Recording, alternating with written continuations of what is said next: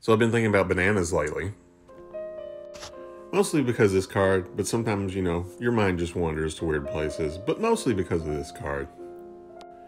And Kibo is a fun commander because you're just handing out bananas all willy nilly, and that's my jam. It's my jam. Like 20 years ago, I had a deck that used uh, apes uh, and also rocket launcher, but there are some uh, fun apes like the Tabi orangutan, which, um, what are those two monkeys over there doing? I wonder. And then there's the favorite Kird ape. Everybody likes a good Kird ape every now and then. You know, just to do ape stuff with. And yeah, here's a rocket launcher. That was uh, pre-equipment. Um, there's probably better ape-centered equipment, but I like giving an ape a rocket launcher. And yeah, I know that uh, Kibo, you want to just build your apes up to be super ape strong, but also I just want to give out infinite bananas.